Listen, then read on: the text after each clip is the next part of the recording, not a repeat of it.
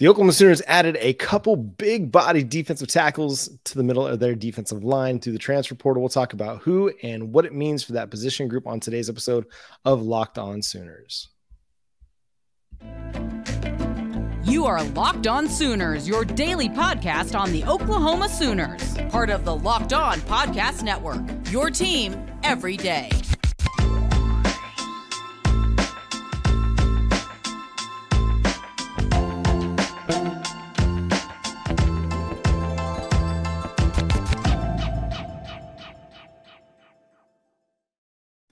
What's up, Sooner Nation? Welcome to Locked On Sooners, and thank you for making Locked On Sooners your first listen every single day. Today's episode is brought to you by FanDuel Sportsbook, official sportsbook of Locked On. Make every moment more. Visit fanduel.com slash locked on today to get started. Thank you for joining us. My name is John Williams. You can follow me on Twitter at John9Williams. My buddy here is Josh Helmer. You can follow him on Twitter at Josh on Ref. You can also hear him Monday through Friday on 94.7 The Ref in Norman. And Josh had a couple defensive tackle commitments back to back days on Friday and Saturday. Surprisingly, you know, I figured we, we'd get the one and then the other one just kind of blew me out of the water a little bit. On Friday, Da'Jon Terry commits to the Oklahoma Sooners, the Tennessee transfer defensive tackle. And then on Saturday, uh, Phillip Paea, who had been playing the last couple years at Utah State, also commits to the Oklahoma Sooners through the transfer portal. So we we knew Oklahoma uh, based on the the offers that were out there or reported offers. Uh, transfer portal is always a, a, little bit interesting in that respect. You're kind of waiting on uh, Da'Jon Terry to let us know that he's been offered by the University of Oklahoma, or for Paea to let us know that he's on a visit or has been offered by Oklahoma. But uh, we we had an inclination just based on sort of what the defensive line room looked like, and particularly the interior of Oklahoma's defensive line, that maybe they might want to add another body or two. And uh, now, basically, I guess the question becomes this with both Terry and Paea in the fold, John. Do we know that much has changed with Oklahoma up front beyond just, hey, they went and got a couple of depth pieces? I don't know if much has changed. About the only thing that I think is significant is Da'Jon Terry. I think he could slot in as your starting nose tackle, you know, in three or four man fronts because he's got a lot of experience. He's played a lot of, you know, power five football at this point, and he's a productive space eater that you need in the middle of your defensive line, especially on early downs. Like you can throw him out there on first and second down against, especially against teams that are more, you know, uh, prone to running on early downs and and feel good about it. And if you want to be in a three man alignment, then this is a dude that you can put out there 320 plus pound, six foot four, a big dude that's going to be able to eat double teams, keep your your edge guys clean, keep your linebackers clean. So I do think that that makes a difference. You didn't really have this guy on your roster yet. Uh, you've got guys that you think could fill that role down the road, like an Ashton Sanders, uh, Marcus Strong, but they're they're true freshmen this year, and they're not really physically going to be ready to do that. And so you've got a guy with four years of collegiate experience now. He again played in the SEC last year, had some production, or sorry, the last two years had some production, and now you can put him in, in the middle of your defense and not have to to put people out of place. You know, that was that was one of the the issues with the Alex Grinch defense a lot of times is you wanted to have a guy a, defensive tackle play the nose, but you're playing undersized guys there. You're playing a Neville Gallimore, who was, I mean, he was a 290, 300 pound guy, but he would have been more, uh, more better utilized as a three tech. And, and the same could be said for a Perrion Winfrey or even a Jalen Redmond. These guys aren't your traditional nose tackle types. You get a guy out there that is a legit nose tackle type, and it really does kind of open things up for how you how you deploy and play the rest of the guys on your defense. So I do think like this helps a guy like Isaiah Coe and a Jordan Kelley not have to play nose tackle, nose tackle, and be able to play more of that three technique where they're lining up between the guard and the tackle as opposed to right over the center and potentially have to face less double teams. The same could be said for your edge guys, Rondell Bothroyd, Ethan Downs, uh, you know, R. Mason Thomas, Reggie Grimes, any of those edge dudes, Dasan McCullough. This helps everybody because you can't just ignore a 325 pound guy with some athleticism, a dude that's going to have the strength to be able to get out there and, and bully people into the backfield. You can't ignore that and just work your way to the second level and just assume all's going to be okay. No, you're going to have to account for this guy every single snap because of just his sheer size. You're not going to be able to run inside as easily. So I do think Da'Jon Terry does help in that way. And I, and I think he could be a significant role player in the in 2023 with the Sooners defense. Phillip Paea, I'm not so sure exactly where he fits into the rotation, but he's a guy that could play some nose tackle for you as well. Kind of interesting too to just think about the big picture for Oklahoma here.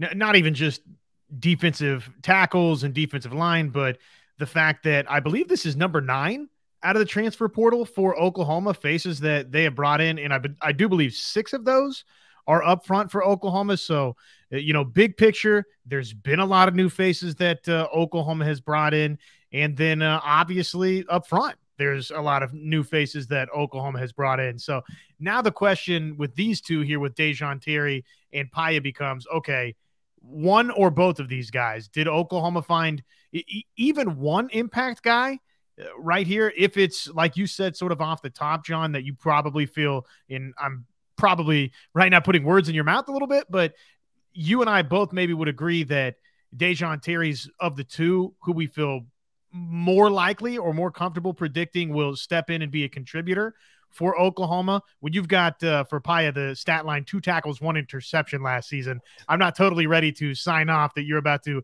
come into Oklahoma and, and be this absolute game changer. But we'll see on both. If one of the two, if one of these two guys here is a difference maker, and all of a sudden you pair that with Coe takes a step forward. Kelley takes a step forward, and then some of those other defensive line additions that Oklahoma's brought in if it's Bothroyd, if it's Ford, if it's Downs and Stripling, whoever, right? Guys that were already here on campus, their progression mixed with a couple of these transfer portal hits. Okay, Oklahoma might have something pretty good up front. I think it's fair to say that after the beginning of last year, John, through the Nebraska game, and then after that, once you got into Big 12 play, interior pressure wasn't altogether great and really just pressure on a consistent basis for Oklahoma on the defensive line wasn't great for Oklahoma. So hopefully they've shored that up a little bit here, big picture.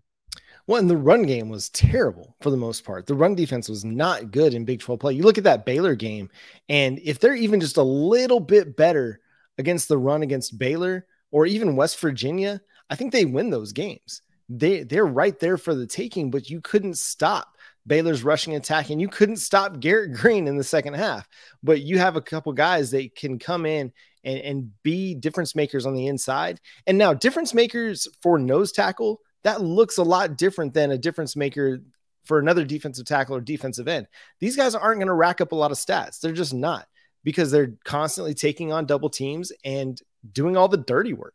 But you got to have that guy that does the dirty work similar to your offensive linemen. Your offensive linemen aren't getting a lot of the glory for your your touchdowns and you know the the numbers of yards that you put up a lot of times, but they're doing all the dirty work so that all that can happen. A lot of times that's the case for a, a nose tackle as well. You, you got to have that guy because he's going to help keep Danny Stutsman clean, help keep Jaren Kanak clean, Dasan McCullough. Like having that availability and, and ability to just just take up space and not let the guard, you know, who's you know the guard center combo block and not letting those guys get to the second level clean, that makes a lot of uh, it makes a big difference, especially for a defense like Brent Venables that wants to get downhill and wants to attack. If you know Da'Jon Terry and Phillip Paea, they're holding up the garden center. That just gives a guy like Jaren Kanak, Dasan McCullough, Danny Stutsman a, a a better ability to get downhill, fill gaps, and make plays and not have to worry about dealing with guards and centers all the time like like they've had to or that they had to last year. You know, the the defensive interior was a struggle for the Oklahoma Sooners. Now they've they've beefed that up. I mean, these are not the only two. They've also added Jacob Lacey and Davin Sears. Like they've really made a, a strong emphasis this offseason on shoring up the interior of the defensive line. Now, who all ends up getting significant playing time out of that group, we'll see. But I really feel with the the six that they brought or the four they brought in in the transfer portal, Kelley and Coe returning, uh, Gracen Halton as well, you know, stepping up into a, his sophomore season. Um, well, actually, I guess it's his redshirt freshman season. Uh, and then Derek LeBlanc is a true freshman. I really feel like you've got a really solid group of eight defensive interior defensive linemen that are going to allow you to kind of play matchups a little bit and and be um, not so like set in on okay well we don't really have a nose tackle isaiah you got to play the nose Like you've got to, you've got guys that can play roles. And I think that matters a lot of times in a defense that, okay, De- Da'Jon, we're not asking you to go out there on third and 10 and rush the passer. No, you're going to be our first and second down guy. You're going to be our short yardage guy, our goal line guy. You're getting out there. Phillip Paea, same thing for you. You're going to rotate in those roles. Whereas, you know, then you can save Jordan Kelley and you can save Isaiah Coe for your pass rush situations where they were pretty effective in limited opportunities last year. So I think it does help to to delineate the roles a little bit more cleaner or clearer for everybody so that they know what they're supposed to be doing and and not having to play out of position as much a bunch of uh, other recruiting notes we can pass along with you. So you've got a pair that you've added here in Da'Jon Terry and Paea. But uh, boy, that's just kind of the, the tip of the iceberg as the calendar turns into the month of June, which this has been historically, John, a uh, a busy time on the calendar, not just for Oklahoma, but uh, you know football programs in general, but certainly OU with the barbecue and a bunch of different things on the calendar with visits, et cetera, et cetera. Uh, offers getting doled out. This is a busy month historically for OU. And let's tell you a little bit more about that. But first, Make a fast break on over to FanDuel during the NBA playoffs. All even one apiece. The NBA Finals. Miami, man, after round one, I didn't know that, that they had any of that uh, left in them for this NBA Finals. But sure enough, we're all even. Don't matter what happened in game one because game two was Miami's. Right now, new customers, a no sweat first bet up to $2,500. That's 2000 $500 back in bonus bets if your first bet doesn't win. The uh, FanDuel app, it's safe, it's secure, it's uh, super easy to use. They've got great promotions every day. And uh, the part that winners like, you get paid instantly. So there's no better place to bet on all the playoff action than over with America's number one sports book. FanDuel.com slash locked on. A no sweat first bet up to $2,500. FanDuel.com slash locked on. FanDuel, an official sports betting partner of the NBA. I'm looking here. It was uh, as expected. The Brent Venables camp uh, this past weekend. It was a busy one. Uh, six high school athletes netting scholarship offers from Oklahoma. Uh, one of the names that kind of caught my eye, John, that was sort of intriguing here. Uh, Ivan Carrion, who, uh, by the way, is a Texas Tech commit, 2024 four stars, six foot six, 205. So looks the part, athletically is the part, blue chip kid. But here's somebody that's committed to Texas Tech. But guess what, John? You've got uh, which connection at play here for Oklahoma? The Emmett Jones connection. So Emmett Jones was his primary recruiter that led to that commitment for Carrion. And now Emmett Jones is in Norman and the kid comes to camp, earns an offer. I think that bodes well for the Sooners. I mean, six foot six, like, okay, this is we're getting our Mike Evans type. Now, if you remember Mike Evans, Texas A&M, about a decade ago, like all that dude has done in the NFL is gone on to have 8,000 yard seasons so far in his career. So like you're getting a dude with a lot of size, six foot six. I mean, you, you can't, you can't teach it. You can't teach size. It's, it's just the, the big difference maker a lot of times when you're recruiting and, and you're analyzing prospects. Now, how that plays out at the collegiate level, we'll see. But I mean, in an offense that wants to be a little bit aggressive, gets the ball downfield, having a guy that you can just throw the ball up to, that makes a big difference. And I, I think it's interesting knowing like, okay, we've got Zion Kearney already committed. Oklahoma is trending still very positively towards Bryant Wesco, according to the people that I talked to. And then you have another one that they've offered that if the connection with Emmett Jones is real. I mean, he's a committed a committed kid visiting Oklahoma for a Brent Venables football camp. I don't know how many more tea leaves we need to read to think like, okay, this kid wants to come to be, play with Emmett Jones. I don't know, but it, it definitely is significant as far as that recruitment goes. Other names to, I guess, uh, put on the radar for Oklahoma in the offers sheet. You had Chase Lofton, who uh, again is a uh, well, that's a fellow pass catcher 2025 kid. Uh, you have an offensive line offer. We love uh, we love the big bodies up front, right? So like to see Coach B getting after it. Melissa Texas, 2025 offensive lineman. Owen Hollenbeck was offered. Who else? Brock Boyd was offered by Oklahoma, and then uh, Evanson, Malaska, and Gregory Patrick. The uh, the sophomores, sophomores right now, 2026 kids uh, that uh, were offered by Oklahoma. So busy, busy weekend for Brent Venables and company. And this time of year, John, it just typifies that. You know, it's interesting. Like, I think what's fun about these offers is they earned these offers just based on their work here at camp. Now, they've probably done some background and, and watched these kids play in their in their high school thing, but I mean, it's the same way that uh, you know Keon Brown was able to earn his offer last year. You know, yes, his his path to Oklahoma might have changed and things might go a little bit differently for him, but there's something to be said for a kid that goes out, you know, but kind of sight unseen or you know, no promise of anything and just goes and performs and then earns an offer. Uh, there's something kind of neat about that and, and a little bit romantic almost about that as far as sports go. You know, if if you ever tried out for a sport, I just remember going back when I was in high school baseball in my first semester in Texas after moving from California, you know, three weeks in, it's baseball tryouts.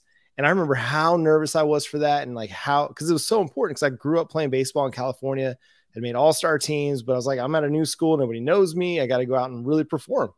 And I, you know, thankfully I did. I had a great tryout and, you know, made my mile time and did really great in the, the little scrimmage we had that week. And, and it worked out and I'm, and I made the team. But I just remember being like, you know, so nervous for that, you know, going out and performing in front of coaches I'd never met and, and having the opportunity to kind of show what I could do. But how satisfying it was to to see my name on that list after all the final cut downs like that's just got to i kind of feel like that's what they're feeling right now too. It's like you go out there with no promises of anything and you show what you can do in front of this coaching staff and they say yeah we we want you on our team. We're going to offer you a scholarship. Because that's what that means. Like it's not a placeholder offer. It's like we saw what you can do. Come play for us. And that's just got to be so cool man.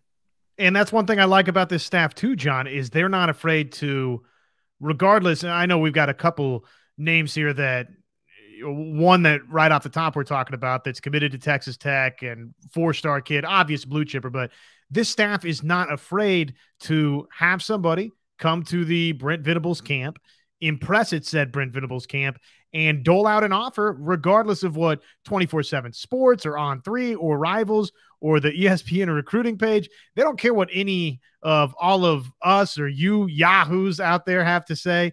They care about their evaluation and what their eyes tell them. And uh, I like that about this staff. The idea, I mean, you're talking about it's the romantic idea of going out and impressing a coaching staff. Well, that this coaching staff puts stock in that too, John. They do, and I, and I think that's that's something that's neat. And, and and while like we love the recruiting, you know, analysts out there. I mean, Parker is our dude, Brian Smith, John Garcia. We love those guys, and Brandon, Josh, like all those guys do great, great work. And it, and it's important to to to read what they say and see what they're saying about how these recruiting battles are going because they're definitely in the know. At the in addition to that, understand like the coach's evaluation is kind of the the last thing that matters. So if they see a three star kid that they really, really like in the 2025 class, like who am I to say, oh man, that's that's not a good kid. Like that's not a good football player. No, like the three star, yeah, okay. Georgia is showing us that the stars matter 100%. But at the same time, if you can hit on some of these kids that are under evaluated and under recruited, that that can make all the difference a lot of times. You got to have those glue guys that are your Drake Stoops, you know, that are just going out there constantly making plays for you, even if they weren't a highly recruited prospect, you know, in a particular cycle. So yeah, th- these camps are are huge for them, and, it, and it's a great way for Oklahoma to kick off its summer because as we saw a year ago, the summer is the month is the time of the year when Oklahoma is really going to be making headway on the next recruiting class. They did it in the 2023 cycle in the 2022 summer, and they're going to do it again this summer for the 2024 cycle. It's just going to start rolling here over the next few weeks. They got a big visit coming up this next weekend with Williams Nwaneri coming to town. And then the following weekend, it's the David Stone weekend at the Champ U barbecue. So, like, these next few weeks are going to be absolutely huge for the Sooners. But I mean, for all intents and purposes, like this is the time where they start seeing those commitments come through. And I, we may or may not see a, a Nwaneri or a Stone commitment, but it would not surprise to see a lot of other commitments coming down over the next couple months. It's that time of the year. It's that portion of the calendar where typically Oklahoma makes its hay. So yeah, I would I would think that, you know, not necessarily that it's one of those big, big names that we have on the board, whether it's a Nwaneri or a Stone. Let's hope it is. That would be that'd be great for Oklahoma. Uh, what a nice feeling that would be to leave the summer and head into the fall. And for both Nwaneri and Stone, you're talking about guys starting their final seasons. And oh, by the way, they've gotten the uh, decision done. They've committed to the University of Oklahoma. Not sure that it's going to play out that way, but uh, just for OU, for for you, I, everybody in Sooner Nation to feel comfortable, we need this thing to go on the similar path that it's gone, and I'm sure it will, John.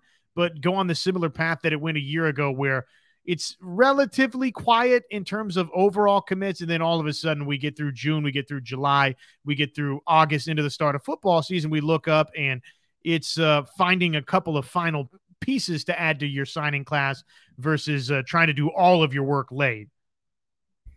Exactly right, and it's it's going to start hitting over the next few weeks, and and we'll have all that uh, covered for you here on Locked On Sooners. So make sure you're subscribed to the show wherever you get your podcasts and on YouTube. Make it your first listen every single day. Josh, got to turn our attention to softball because what a weekend it's been so far for the Sooners in the Women's College World Series.